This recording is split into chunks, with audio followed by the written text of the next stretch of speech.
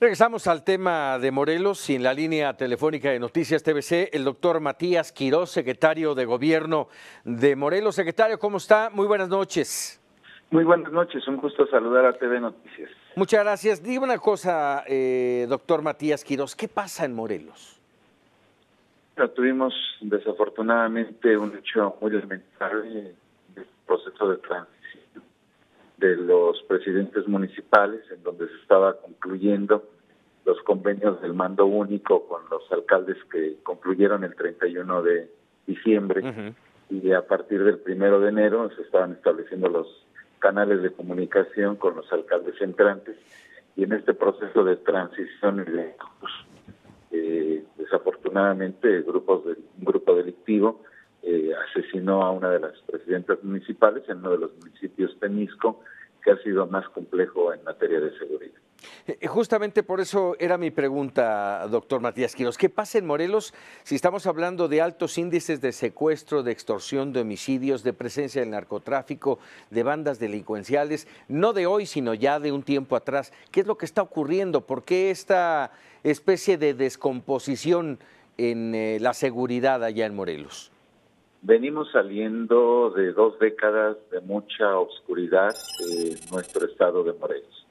A la llegada del licenciado Graco Ramírez se implementó el programa Mando Único, que hoy es una estrategia de carácter nacional, y eh, durante nuestra llegada no encontramos ninguna absoluta infraestructura en materia de seguridad para la lucha contra la delincuencia.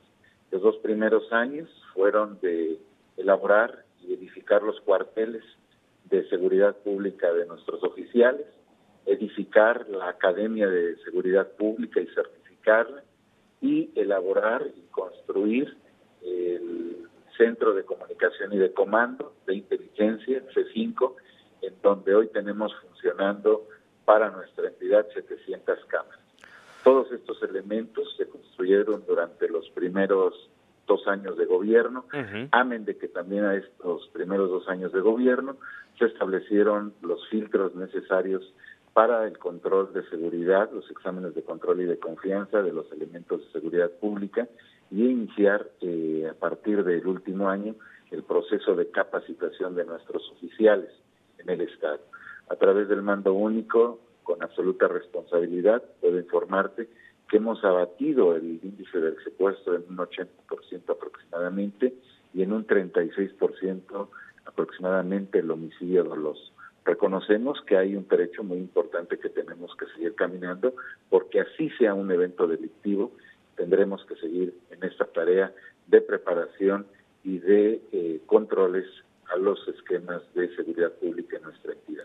Por ello la importancia del mando único como una estrategia de unidad que nos permite tener la certeza y la claridad de que los elementos policíacos de los eh, de los ámbitos municipales cumplen con todas las especificaciones que marca la Ley de Seguridad Pública de nuestra entidad federativa y del Sistema Nacional de Seguridad. Ahora, estos números que nos da, lamentablemente eh, no se reflejan en la sociedad, no se reflejan en los medios. Lo que ha ocurrido este fin de semana con la ejecución, porque no fue otra cosa, la ejecución de Gisela Mota, la alcaldesa de Temisco, y que ha detonado toda esta situación de crisis, es, es patente. No se ve ese abatimiento del homicidio, no se ve ese abatimiento del secuestro. Se viven otras cosas. Dígame, este secretario. Sí, dígame. Este fue un hecho muy lamentable y desde luego reprobable en todos sentidos. Sin El duda. gobierno del Estado ha manifestado su indignación y en función de esa dinámica es que se ha emitido un decreto de asunción del mando único en 15 municipios en donde por alguna otra razón se estaba generando una politización de la discusión de la estrategia en materia de seguridad. Me parece que hoy, lejos de estar politizando cualquier debate en materia de seguridad, tenemos que privilegiar los acuerdos y la coordinación entre la Federación, el Estado y los municipios para garantizar la seguridad. El hecho que aconteció en Temisco de la presidenta municipal fue un desafío al Estado mexicano y particularmente al Estado de Morelos ante eh, la lucha franca que hemos establecido contra la delincuencia, particularmente la organizada. ¿Cómo va justamente la investigación en torno a este homicidio? Va avanzando con mucha solidez. Eh, tenemos tres personas detenidas, una mujer, un varón mayor de edad, un varón menor de edad, y después del homicidio eh, se presentó una conflagración donde fueron abatidos dos delincuentes. La este investigación sigue su proceso y desde luego la Fiscalía, atendiendo su responsabilidad, estará comunicando en el corto plazo los avances y los alcances de la investigación. ¿Ya se sabe en este momento cuál fue el móvil? indica que tiene que esto fue estuvo relacionado a una eh, delincuencia organizada. La presidenta municipal el día de su toma de protesta eh, se pronunció en favor de la implementación del mato único y de su compromiso de abatir, eh, eh, mantener una lucha franca contra la delincuencia y desde luego privilegiar en todo momento la prevención del delito y bueno, pues horas después se presentó este hecho tan ¿Fueron los rojos, secretario? Yo creo que estamos esperando ahorita los procesos de investigación, de evaluación de la Fiscalía, que nos permitan tener los elementos de para poder comunicar eh, eficientemente a todos ustedes. Eh, esto ha generado la politización, como bien lo menciona, de este asunto. Eh, hoy concretamente, desde el eh, domingo, mediados del domingo, y lo que ha sido este lunes ha sido una lucha verbal entre el gobernador Graco Ramírez y el presidente municipal de Cuernavaca, Cuauhtémoc Blanco. Se ha hablado de muchas cosas, se ha hablado de la forma grosera en que Cuauhtémoc Blanco se refirió a decir que va a acabar con todos aquellos que no estén eh, y que no acaten lo que él decida. Y por otro lado, el gobernador Graco Ramírez hablando del equipo de trabajo de Cuauhtémoc Blanco, entre los que menciona Federico Figueroa, hermano de Joan Sebastián y vinculado a la delincuencia como parte fundamental del equipo de Cuauhtémoc Blanco. ¿Qué hay con todo esto?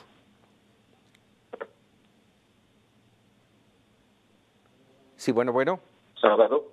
Sí, el pasado sábado el propio gobernador convocó al señor presidente municipal de Cuernavaca una reunión de trabajo, a efecto de que ahí se pudieran establecer las eh, los elementos de coordinación en materia de seguridad. Desafortunadamente no fue una reunión eh, la más tersa, la más adecuada, y eh, agotadas estas circunstancias, el señor gobernador, atendiendo a sus facultades constitucionales estricto a la legalidad, luego también en la partimos con el gobierno federal. Eh, caray, se nos, está, se nos está cortando la comunicación. Estamos platicando con el doctor Matías Quirós, secretario de Gobierno de Morelos. Doctor, rápidamente, dos preguntas más. La primera de ellas, ¿está confirmado que el equipo de trabajo de Cuauhtémoc Blanco tiene, que, tiene nexos con la delincuencia? No tenemos información. Desde luego está obra en poder de la Federación y del Estado y desde luego que están haciendo las diligencias correspondientes. Eh, ¿Se va a proceder de alguna manera? Por nada derecha. Sí, se nos está complicando la comunicación. Le agradecemos al doctor Matías Quirós, secretario de Gobierno de Morelos, estos minutos para Noticias TVC. Mire, esta parte eh, eh, final yo creo que es relevante, el que se tiene, así lo dijo el doctor Matías Quirós, se tienen, se tiene información y se tiene documentación que avala que hay parte del equipo de Cuauhtémoc Blanco, el presidente municipal de Cuernavaca, que está ligado con la delincuencia organizada. Y es un tema que va a, generar mucha, mucha información en los próximos días. Y mire, eh, Morelos no está en crisis eh, de ayer o de antier, tiene ya meses con una situación conflictiva, eh, de crítica política, de, situaciones difíciles de seguridad y en las que aparece lamentablemente también el posicionamiento, la apertura que ha hecho el gobernador Graco Ramírez en torno a manifestarse que buscará la candidatura presidencial del PRD y esto ha generado mucho, mucho movimiento y lamentablemente la sociedad morelense es la que está eh, pues eh, sufriendo los embates de la política y también de la delincuencia.